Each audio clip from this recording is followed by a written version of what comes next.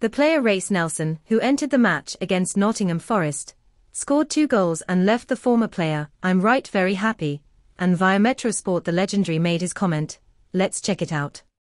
You who support Arsenal and don't want to miss the latest news, subscribe to the channel now and activate the notification bell.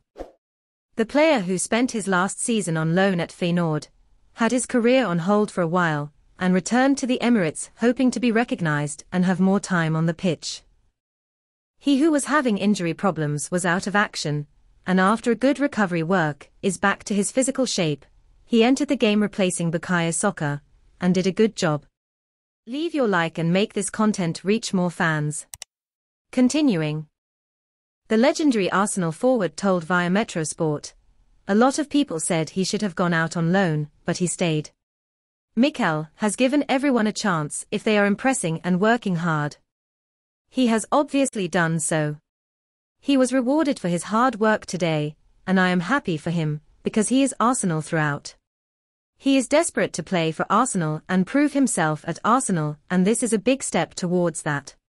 I'm delighted for him. So, Gunners fan, how would you rate Nelson's performance in the match against Nottingham Forest?